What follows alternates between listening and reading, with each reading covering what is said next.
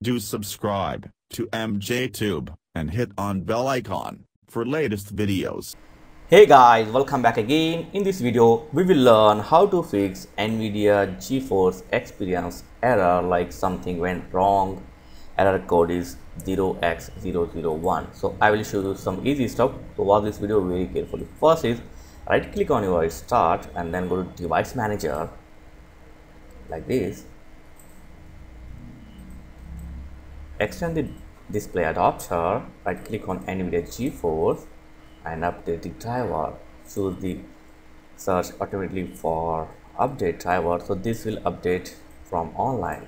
So after update restart your pc and try to open the geforce if it's not work then the second powerful method is go to services. From the start open the services. And here do what I'm doing exactly so here you need to find the NVIDIA. So find the NVIDIA. Okay let me find it. Come on. Okay NVIDIA telemetry container. Double click on it. So the first and powerful method. And then login click on login then check on local system account and then allow it. Check on allow. And after this simply apply and ok good. This is the first thing. After this you need to go to nvidia display container ls so edit here.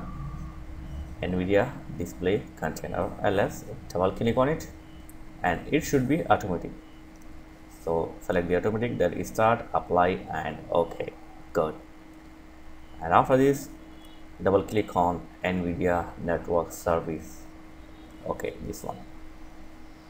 And this should be manual select the manual and start it. Okay. Click ok. Apply and ok. That's it. And now double click on nvidia local system container.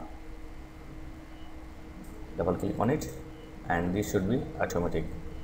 Start apply and ok. So after you did all this thing restart your PC. Hopefully this will fix your problem of GeForce Experience.